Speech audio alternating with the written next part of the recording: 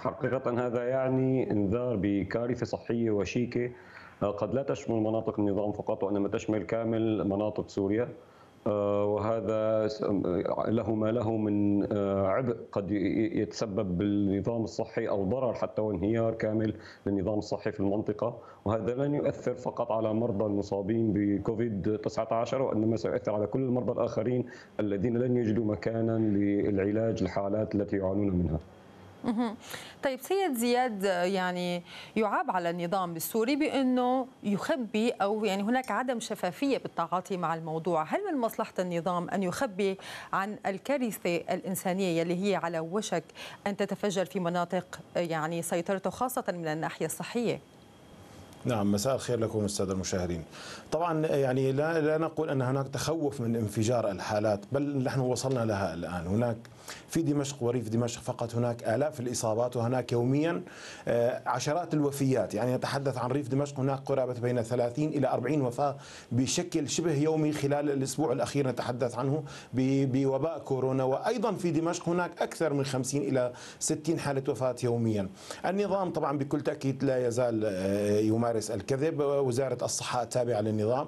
لغاية الآن لم تصل إلى رقم الوفيات الحقيقية من تعداد الكوادر الطبية فقط.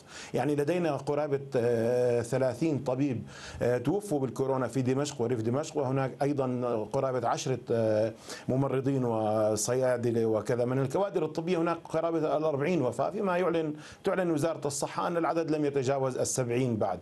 يعني واضح تماما أن هناك كذب وهناك عدم اعتراف وهذا الأمر يعني قديم منذ أن أعلن عن وجود وباء الكورونا في الصين خرجت بعض المؤسسات الصحية التابعة التابعة للنظام تكذب هذه الكلام وتقول هذا هذه إشاعة وهذه مؤامرة دولية. يعني دعيني أعطيك مثال. هناك شركة البيلسان مقرها البرامكة في دمشق.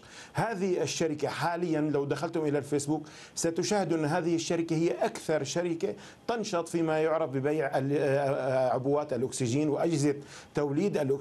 وهي غير فعالة حقيقة وتجني مرابح بالملايين هذه الصفحة التابعة للشركة نشرت بتاريخ 19 واحد بيان آه، يقول أن كورونا كذب وأنه إشاعة وأنه يستهدف آه، آه، الشعوب العربية وشعوب مم. العالم الثالث وما إلى هنالك يعني هذا يعطينا مثال كيف يتعامل النظام ومؤسسات النظام مع هذا الوباء مم. وكيف خدعوا الشعب ولم يطلبوا منه أن يكون لديه وقاية بل قالوا له أن هذا كذب ولا تصدقوا ذلك إلى أن دخلنا حقيقة منذ تاريخ 25 سبعة. دخلنا في الكارثة كارثة الكبرى. الآن مم. مئات الوفيات سجلت خلال ثلاثة أيام فقط. هناك تقريبا 250 حالة وفاة في دمشق وريف دمشق.